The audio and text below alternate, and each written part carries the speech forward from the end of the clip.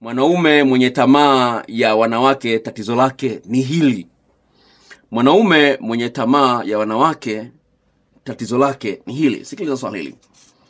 Dokta, naomba unisaidie. Naomba unisaidie dokta, kwa maana nimehangaika kwa muda mrefu sana. Ni tatizo nisilolielewa. Nina mke na watoto watatu. Ndoa ina miaka kumi na minne. Sijisikii kupenda, naona kawaida tu hata nikichepuka ni hivyo hivyo tu. Wakati namtongoza mwanamke ninakuwa na hisi kumpenda sana tena sana, ila nikilala naye tu upendo kwake unaishia hapo hapo kitandani.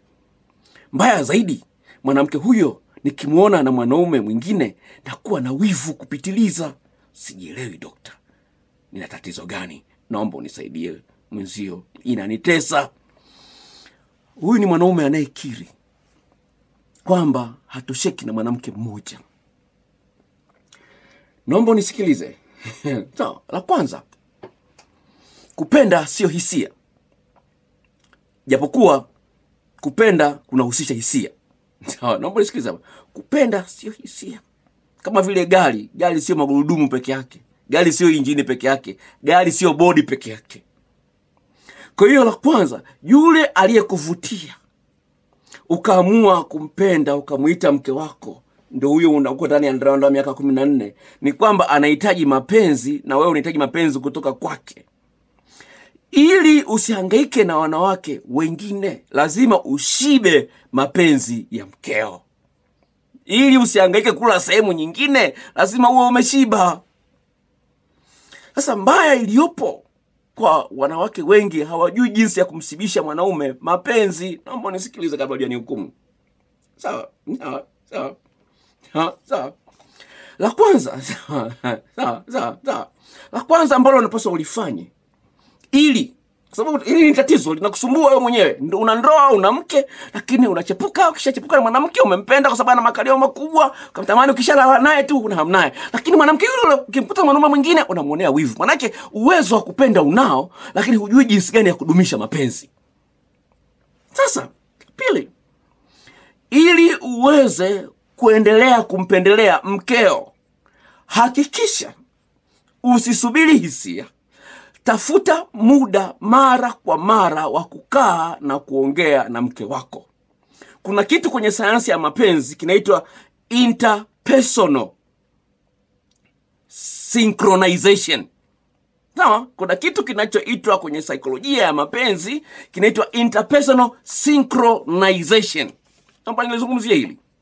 Maana yake ni kwamba hii sinko yani jinsi gani nyinyi watu wawili mnaweza mkashikamana yani ni mshikamano wa watu wawili tofauti, inaitwa interpersonal. Kama unasikia international, maana yake ni ya kimataifa. Sawa, kampuni kisikia ni international, maana ni ya kimataifa. Sasa interpersonal ni mtu na mtu.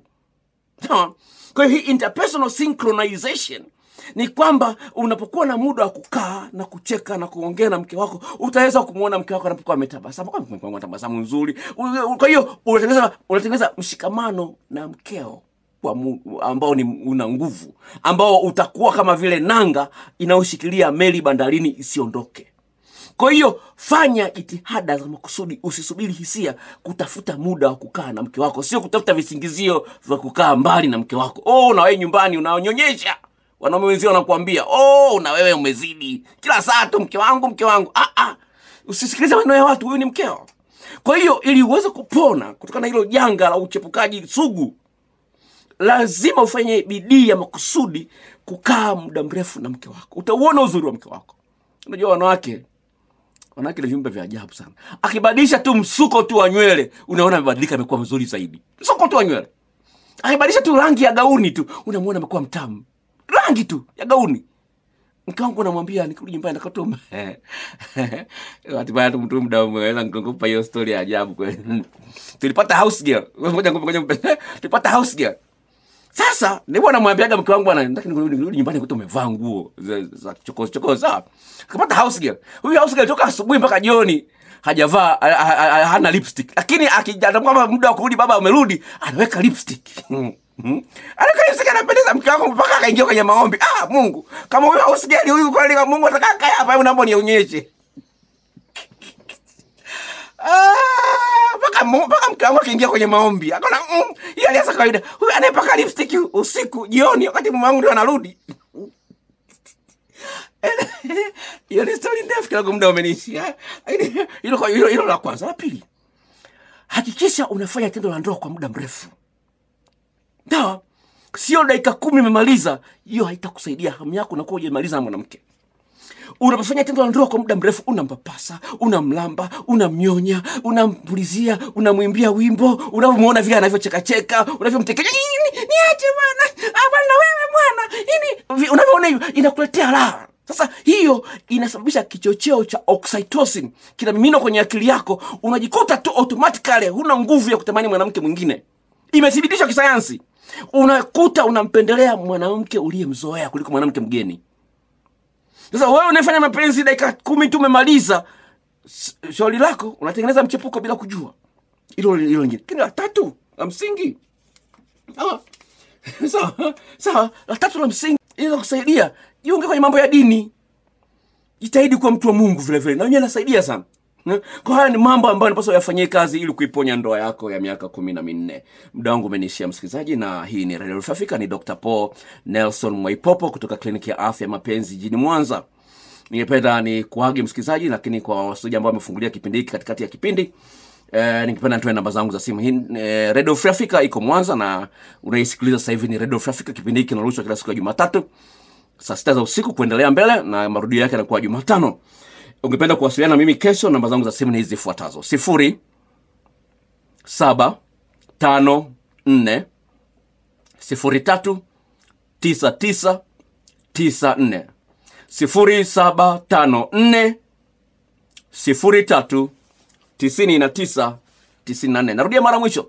Sifuri saba tano nne sifuri tatu tisini na tisa tisini na nne. Kama utazisahau hizo namba ingia kwenye youtube na channel ya youtube ambayo namba zangu naziandika pale. Channel hiyo inaitwa dr mahaba. Dr mahaba. Kwa hiyo usiandike Dr. neno zima andika kifupisho cha Dr. dr dr mahaba. Kwa hiyo ni dr mahaba. Hiyo ni channel yangu ya youtube.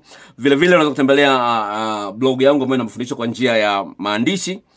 Ni www mfalme wa mapenzi blogspot.com www mfalme wa mapenzi blogspot.com vile vile unaweza kunisikiliza kama mhubiri wa neno la mungu Kiss fm Kiss FM saa kumi na mbili asubuhi kila siku ya Jumapili saa kumi na mbili na mwaga Injili. Kwa hiyo unaweza kunisikiliza hapo Kiss FM Jumapili saa kumi na mbili asubuhi. Kipindi kinarushwa nusu saa nzima ya mafundisho ya neno la Mungu. Mungu akubariki sana msikilizaji kuchagua Radio Free Africa, naendelea kusikiliza Radio Free Africa mpaka wiki ijayo. Nikutakie usiku mwema, kwa herini.